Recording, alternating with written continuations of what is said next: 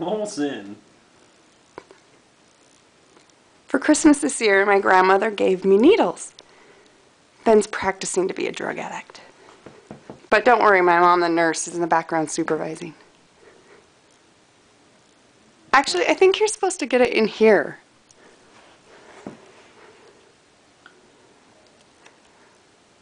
We're anxiously awaiting Ben's death. He's promised me his house.